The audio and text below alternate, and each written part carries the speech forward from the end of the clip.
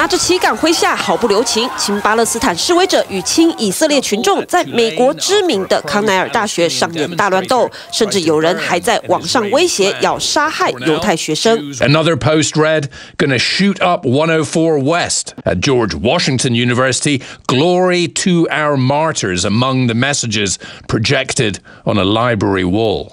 另一所常春藤名校哥伦比亚大学的犹太学生也控诉有心人士在学校故意煽动犹太学生与穆斯林学生冲突，怒批校方至今仍无所作为。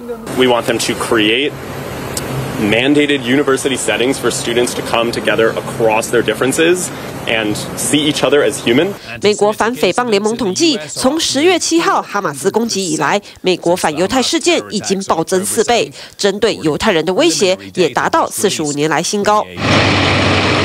随着以色列发动加萨地面战，更多加萨人陷入险境，犹太人与阿拉伯人之间的种族仇恨恐怕也越难平息。President reiterated that Israel had a right to defend itself, but he also underscored the need to do so in a manner consistent with international humanitarian law that prioritizes the protection of civilians.